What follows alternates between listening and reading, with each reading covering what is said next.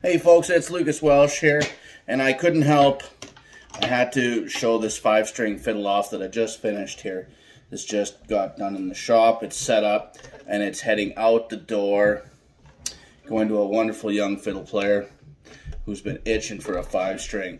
And I can tell you that she has been itching because she has been every step of the way with this one. She's been she's been asking great questions, keeping up.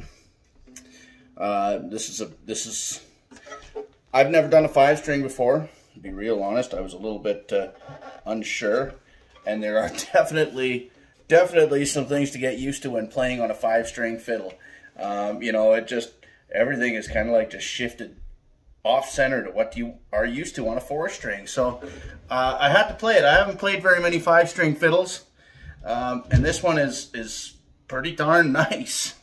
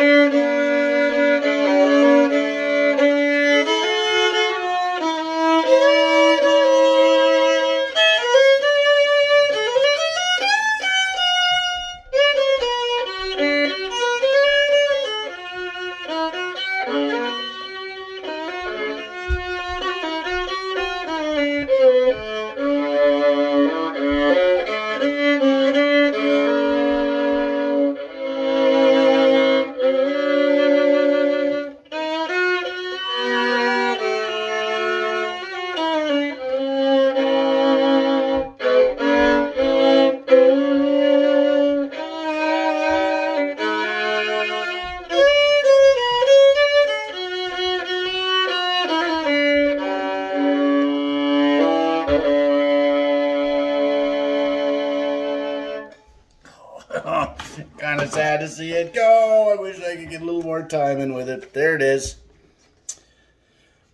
I really, uh, I like the depth that we got with the color on this one. Um, the setup is nice.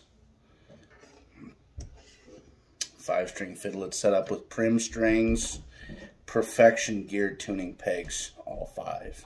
Yeah, baby. These are awesome. There is a little knack to working with these. If you want to know more, check out a YouTube video that I've got up on there at Lucas Welsh Music. Um, yeah. Sweet.